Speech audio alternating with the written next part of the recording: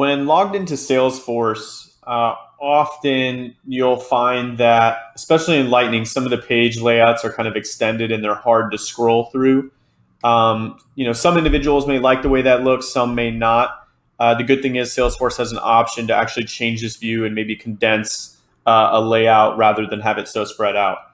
So uh, this change that we're going to look at now is user specific. It's not org specific, meaning you should be able to do this individually and have it set to your preference rather than you know have to reach out to your admin or worry about changing the view for the entire company. So the way to do that is pretty simple. You just click on this, uh, the emoji on the top right corner, and you'll see that comfy and compact show up for display density. Right now we're on comfy. We're going to go ahead and change that to compact. So before I do that, just take another note of how spread out everything is over here. It's going to ask if you want to refresh the page.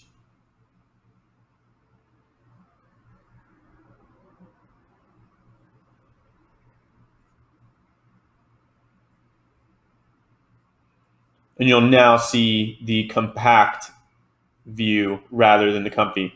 So a lot of times what this does is help eliminate scrolling, especially if you've got some records that have a lot of fields on them. Um, so, you know, depending on, on how you like to see the information, it's an easy option and, and one click away on, on how to change it.